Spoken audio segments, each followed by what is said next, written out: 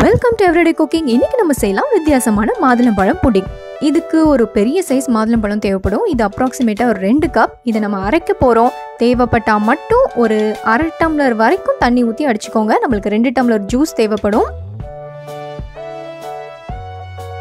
அடுத்ததாக ஒரு பாத்திரத்தில் ரெண்டு டேபிள் ஸ்பூன் கார்ன்ஃப்ளவர் ஆட் பண்ணுங்கள் இதோட ரெண்டு இல்லைனா மூணு டேபிள் ஸ்பூன் சர்க்கரை.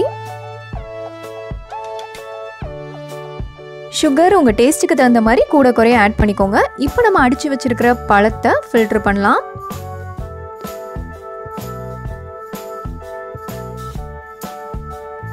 இந்த ஃபில்டர் பண்ணி வர ஜூஸோட அளவு ரெண்டு கப் வரணும்.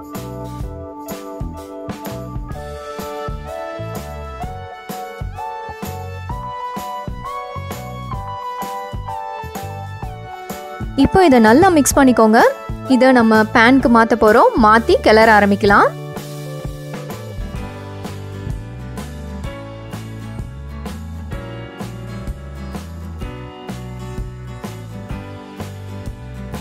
இது கைவிடாமல் கிளறிட்டே வாங்க. ஒரு ஸ்டேஜில் கெட்டி ஆக ஆரம்பிக்கும். இதோ கெட்டி ஆக ஆரம்பிக்குது. இந்த ஸ்டேஜில் ஒரு டேபிள் ஸ்பூன் பட்டரை ஆட் பண்ணுங்க. திரும்பவும் கிளற ஆரம்பிங்க. கார்ன்ஃப்ளவர் ஹல்வா கூட இப்படி தாங்க செய்வாங்க பட் அதுக்கான அளவு வேற. அதை வேற வீடியோவில் பார்க்கலாம் இதோ இது ரெடி ஆயிடுச்சு நல்லா க்ரீமியாக இருக்கு. இந்த ஸ்டேஜில் ஸ்டவ் ஆஃப் பண்ணிக்கலாம்.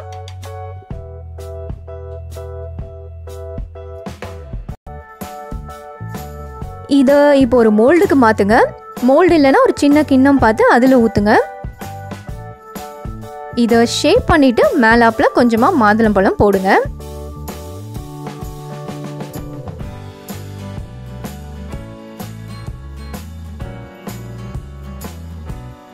இது ரூம் டெம்பரேச்சர்லேயே செட் ஆயிரும். பட் இருந்தாலும் ரெண்டுலேருந்து மூணு மணி நேரம் ரெஃப்ரிஜரேட் பண்ணி எடுங்க. அப்போ தான் டேஸ்ட் ரொம்பவே நல்லாயிருக்கும். இதோ ரொம்ப சூப்பரான நம்ம மாதுளம்பழ புட்டிங் ரெடி உங்கள் குழந்தைங்களுக்கு கண்டிப்பாக ஜெல்லி பிடிக்கும்னு நினைக்கிறேன். ஸோ குழந்தைங்களுக்கு கண்ட கண்ட ஜெல்லியை கடையில் வாங்கி கொடுக்கறதுக்கு பதிலாக இந்த மாதிரி கலர் கலராக நீங்களே வீட்டிலேயே செஞ்சு கொடுக்கலாம். அருமையான புட்டிங் வேறொரு இன்ட்ரெஸ்டிங்கான ரெசிபியோட உங்களை சந்திக்கிறோம். எங்கள் வீடியோஸ் எல்லாம் பிடிச்சிருந்தா லைக் பண்ணுங்கள் ஷேர் பண்ணுங்கள் கமெண்ட் பண்ணுங்கள் அண்ட் மறக்காமல் எங்கள் சேனலுக்கு சப்ஸ்கிரைப் பண்ணுங்கள்